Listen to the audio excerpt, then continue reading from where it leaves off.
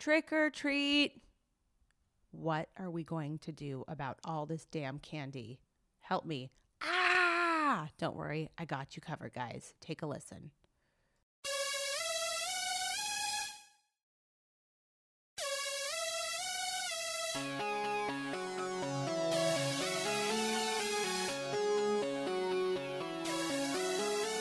Welcome back to Motherhood Interrupted. I am your host, Kimberly Lovi. Okay, guys, the struggle is real. What are we going to do with all of this candy that our kids are going to get for Halloween? I have you covered. I'm actually going to play back an episode that I had recorded. I think it was episode 17. And basically, it is going to share how to swap out candy for something else. And the Halloween ghost is coming to your house. Didn't you know? So take a listen so you have a game plan for tonight and get ready to write a cute little note and maybe trade a toy for candy and take a listen and I kind of walk you through exactly how to do it. So you're welcome. Have a wonderful and safe Halloween. And I'm so excited again to be a part of this journey with you guys on Motherhood Interrupted. Honey, honey, here are your Halloween hacks, and it works beautifully. It's worked every year for my kids, so I know it'll work wonderful for your family as well.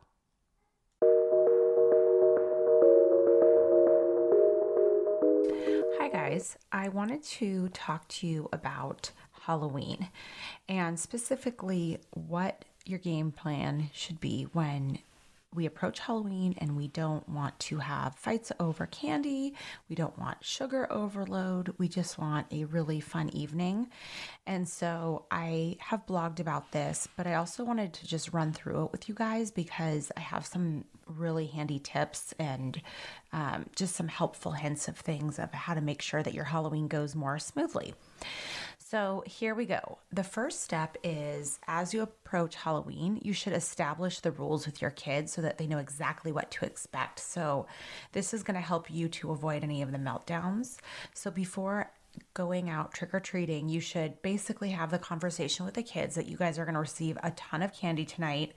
And you should definitely come up with the amount of candy you want them to have that night. So, for example, you can say, Tonight, you guys get to have two pieces of candy. Um, and then afterwards, you're going to get to save three pieces. And so, make sure that when you establish these rules, there are rules that you know you can follow and that you can really stick with so that you're not going against the rules that you had set out. So, really brainstorm with your spouse and think about what the amount is that feels right for your family. I think for our kids, you know, being so young, it makes sense to keep the number of pieces of candy pretty low. Um, and they're really kind of amenable to that as long as they know what to expect and you really just hold to that and keep reminding them about what the rules are as you go. Um, so once you've come home and they've had, let's say, their two pieces of candy for the evening, like you talked about, you should come up with how many you're going to save. And so for us, we're going to save three pieces of candy. And so what you'll do is you'll take out a mini Ziploc bag and you will hand it to your kids and say, pick out your top three, or maybe it's five pieces, whatever, of candy. And so let them own the process. So they can pick out their top three to five pieces of candy they want to save for the coming days and put it in the Ziploc bag. And then you let them know this is exactly where we're going to keep it. For us, we like to keep ours in the refrigerator and say, um, over the next week, provided you guys behave, you can have your one piece of candy of your choice from your Halloween um, trick or treating. Now, this leaves the big question of what do we do with the giant bag of candy? And obviously, this is the trickiest part. So, insert the Halloween ghost. So, what you do is you explain to them that the giant buckets of candy are going to be traded by between the kids and the Halloween ghost. So, what they do is they leave their buckets out on your front porch, or if you have another place, that's fine. We select our front porch and we have the kids leave their buckets of candy outside and we let them know that the Halloween ghost is going to fly around to all of the houses and swap out the candy for a toy or something else that you feel comfortable giving your kids. And so this does require a little bit of planning. So that's why it's important that I um, provide this information to you this week and right away so that you have time to plan.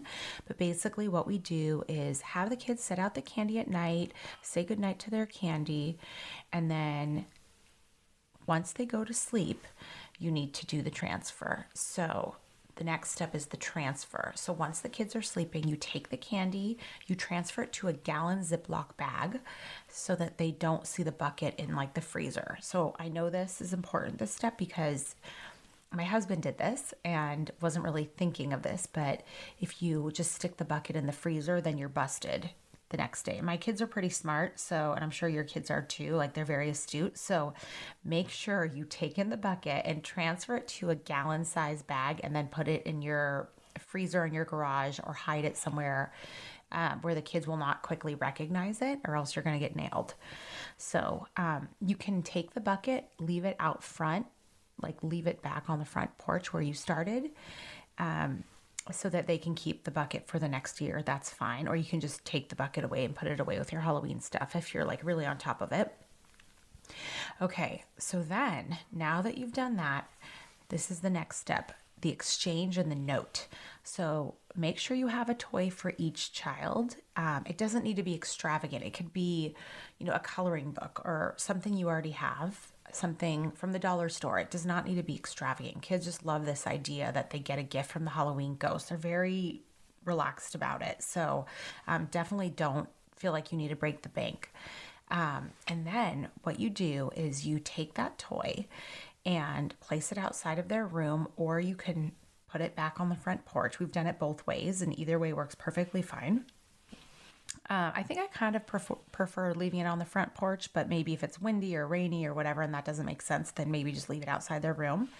Um, and then you leave a cute little note addressed to the kids from the Halloween ghost, and they love it. Now, our kids can't read, so you leave the note for each child with the toy outside of their room, and then you can read it to them and say, Oh boy, Carter, look, look at what they the Halloween ghost left for you and look what he read. And they get so excited. They love it. And they completely forget about the candy. Again, they still have their few pieces that you've retained and that they've put aside. Um, and so, what I've done is I actually went and created a template for you guys to just go on my website under tools for you. And it is sitting there waiting for you. You just put in your email, and then I will send you an email. And in your inbox, you'll click and you'll get the printable PDF where it's this really cute note from the Halloween ghost to your child. It doesn't matter if you have a boy or a girl or more than one child. I the way I wrote it is so that it could really work for any family. So make sure you go to kimberlylovi.com, tools for you, and download that um, as soon as you can and just print it. And then there you go. You don't have to think or do anything. And the kids just love it. So, those are my tips for avoiding the sugar meltdowns and getting a smooth transition to avoid those crazy, crazy fights and um, meltdowns with your child. So I hope that's helpful. It's definitely worked for us the last the last few years. So I'm super excited to share it with you guys. It's really easy and it is a tip you definitely need to know about if you're a parent. So I hope you guys have a very safe Halloween and um, we will be trick or treating with our little pod. So we're keeping it very small and safe. So please be safe, please be happy, and let me know how it goes. Take care. All right, that is it for today. Now, as you know, some of our best conversations actually happen after the show. So I want you to find me on Instagram at Kimberly Lovi and let me know your thoughts about today's show. You can screenshot this episode and let us know what your biggest takeaway was and tag me at Kimberly Lovi and we can share it on our stories. I will see you again, same time, same place next week. All right, that is it for today. Now, as you know, some of our best conversations actually happen after the show. So I want you to find me on Instagram at Kimberly Lovi and let me know your thoughts about today's show. You can screenshot this episode and let us know what your biggest takeaway was and tag me at Kimberly Lovi and we can share it on our stories. I will see you again, same time, same place next week.